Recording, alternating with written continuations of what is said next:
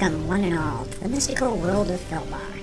Adventures abound throughout this realm, and we appreciate the opportunity to regale you with some stories from these trails. These accounts are all based on actual RPG experiences that occurred within Adventures in Filbar. Some of these tales may be for mature audiences, while others may be for very immature audiences. We now present the sage Mikas Tumo from Tamel, also known as the Bard of Filbar. Welcome to session Fartook 106. Last time on the Bard's podcast, the group saved the archives and put every Grey Cloak to the sword. While some members of the party were not wholly in favor of the action, the legitimate concern of being followed or word getting out could not be disputed. As the sun began to set, the party rode off into silence. We rejoined them as the setting sun casts an orange glow on a large expanse of water. Ladies and gentlemen, I present to you the Katorian coast, beamed a happy Bolger the gnome.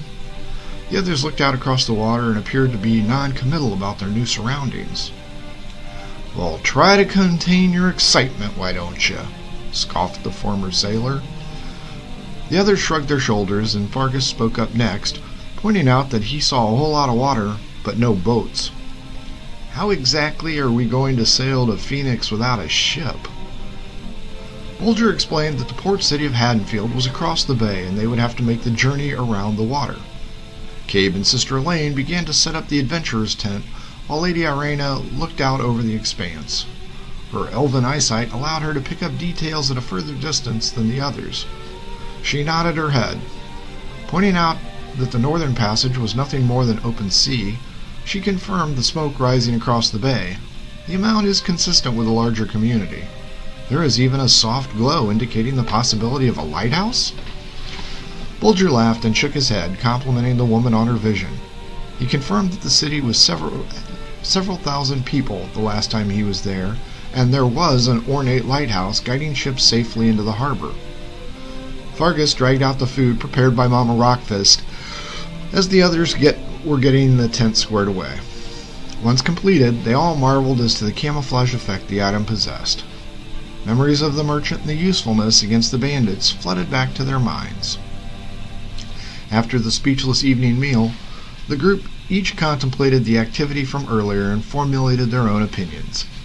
Each noticed that while Cabe Silvertongue was quiet, he seemed to be at peace. As they all turned in, the bard inquired if he could skip the first watch as he was quite tired. The others pointed out that they would handle the watch and he could rest. Fargus took first watch, with Lady Irena taking the middle, and Bolger dealing with the dawn as he remarked he always enjoyed a nice sunrise over the ocean. Fargus stepped outside and kept an unlit torch close by while the others entered the tent and laid down for some much needed rest. The night passed uneventfully, with Lady Irena taking extra watch time as Bolger seemed exceptionally tired. She woke him before daybreak, and he thanked her for the extra rest as he was still sore from the fighting. The group broke their fast and each nibbled on the remaining food from the dwarven mother before packing up to circle around the bay. Thirty minutes into the ride, Cabe and Lady Irena halted their horses and listened. The column stalled, and the others waited for news of the delay. The mage and bard both pointed out that they had heard a disruption, like rocks being tossed into the water just ahead. Lady Irena added that she also heard wood snapping as well. The group readied their weapons and moved forward cautiously. After nearly fifteen minutes, they had still not located the noise until they found an earthen ramp leading down the cliff to the coast. Just ahead of the group on the beach were a pair of large giants dragging a broken ship ashore.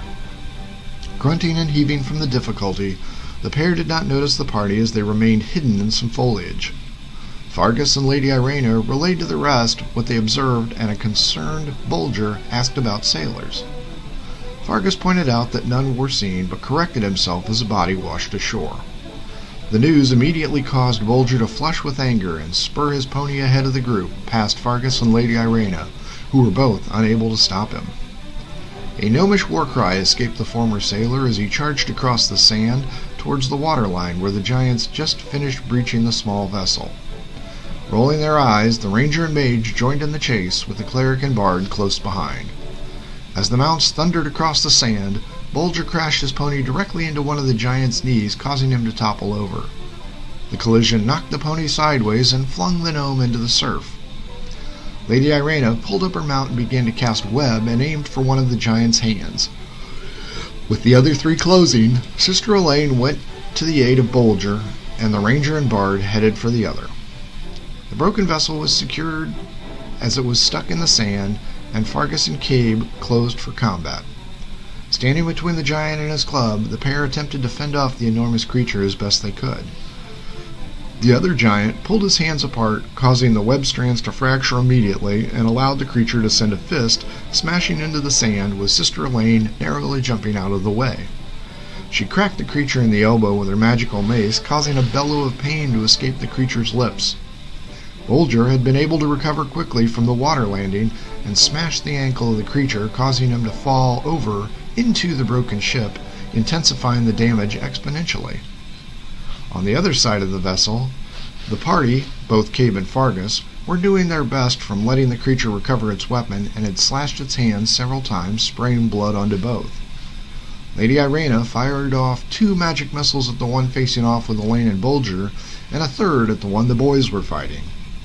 The magic struck true and caused both giants to wince in pain.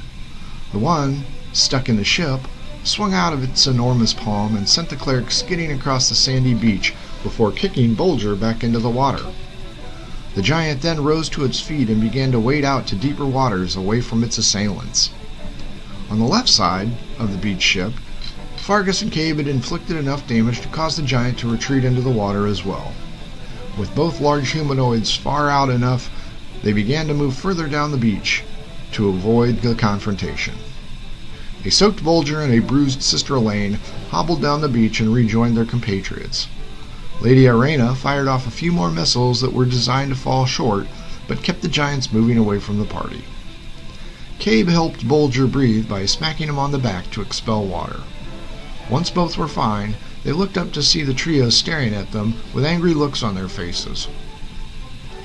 Bulger noticed and asked what their issue was, which caused Lady Irena to throw up her hands and stomp off. Sister Elaine tended to her wounds and shook her head, while Fargus buried his blade in the sand and put his hands on his hips. Two days! Two reckless actions! Are you guys trying to get us all killed? blurted out the angry ranger. Both individuals attempted to defend their actions, but it was clear that Fargus had had enough. He verbally berated both of them and told them that he didn't care if they were both on suicide missions, he just didn't want to go down with them. These one sided actions have to stop before they get us all killed. Cabe and Bulger stood on the sand as Fargus grabbed his blade and went to retrieve their mounts that were galloping along the surf. The pair stood next to each other and watched as their compatriots huffed around the beach.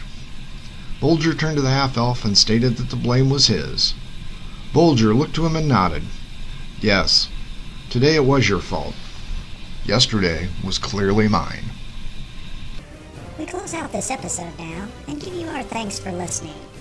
Please subscribe to this podcast and don't forget to follow us on Twitter at The Bards Podcast. For everyone in Adventures of Filbar, thanks for listening.